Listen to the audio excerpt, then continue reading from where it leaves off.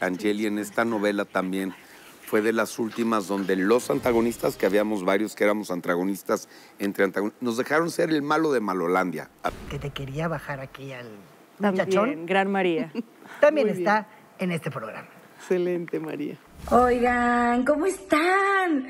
No saben el pesar que tengo de no estar ahí con ustedes en el set, en el foro, con todos ustedes. Sin duda, lo que la vida me robó es una novela que tengo muchísimo cariño, que le tengo tanto respeto, amor, recuerdos padrísimos. Este, no sé realmente quiénes están por ahí, pero eh, creo que está por ahí Sebastián, Angelique, eh, Ferdinando. Los amo, les mando muchos besos.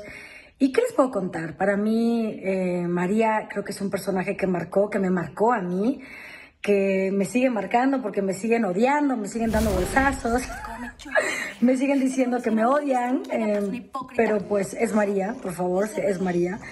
Y yo, lejos de odiar a María, es un personaje al cual, eh, hijo, es una mujer que sufrió demasiado por el amor al grado de enloquecer un poco, pero todo lo hizo por amor y sufrió demasiado. Yo sufrí con ella, la verdad. Sufrí muchísimo. Y nada, mm, estuvimos grabando en la hacienda de Guayamón. Me acuerdo perfectamente el tamaño de, de rayas que nos salían, muy divertido. Eh, me acuerdo algo de... Hacíamos de todo, la verdad es que éramos un equipo del cual nos llevábamos increíble y no me lo van a negar todos los que están ahí porque seguimos teniendo un chat, chat que yo organicé, porque soy bien mitotera, este, ese chat y seguimos teniéndonos ese amor, ese respeto, esa admiración los unos con los otros, todos el equipo que, que estuvimos en lo que la vida me robó y sin duda siempre van a estar en mi corazón, los amo con toda mi alma y nada, gracias por, por el cariño, por por todo lo que, lo que ha pasado a través de esta novela, porque sé que se ha pasado por todo el mundo, que la repiten y la repiten, y sigue gustando y sigue causando cosas. Así que de mi parte, solamente les quiero mandar mucho amor y muchísimas gracias. Y les mando besos. Que Dios los bendiga. Besos ahí a todos en el foro.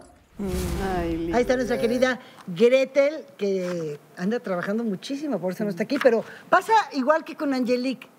Tú estarás de acuerdo conmigo, pasa el tiempo y estos se ven mejor. Sí, sí, sí. No envejecen. ¿Qué, pa- qué, pa- qué hacen? Este. Te cuidas. No, Gretel está impactante. La verdad es que Ay, Gretel tú es una mujer bellísima. No, bueno, pero, hay que darle el mérito a Gretel en este momento, que no está, hablemos de ella, que la verdad está espectacular y sí hizo una María que la gente, pues sí, o sea, con su gran actuación, eso es lo que hacen las grandes antagonistas, la gente te ama y te odia al mismo tiempo y ella lo logró. ¿Sabes algo importante que, que dijo ahorita Angelique? Que fue una gran antagonista María y creo que Angeli en esta novela también fue de las últimas donde los antagonistas, que habíamos varios que éramos antagonistas entre antagonistas, nos dejaron ser el malo de Malolandia. A ver, luego le tienen miedo a, es que ¿por qué va a ser el malo de Malolandia? Y quisieron cambiar a los villanos y no hacerlos ese malo que se necesita en el melodrama, humanos. ¿no? No, en la, en la que tengo ahorita al aire me dijeron todo lo contrario, te queremos malo de Malolandia. Como antes. Ah, bendito sea Dios, vámonos Sí, al melodrama. claro. Vámonos a Porque hacer la cara donde tiene que quiere ser. Y, Sí. y entonces brillan estos protagonistas con su actuación y con todo, porque hay un contraste que lleva la productora y que lleva todo lo que se está haciendo. Entonces se quiso hacer todo como decían, tan menos es más, que no es cierto.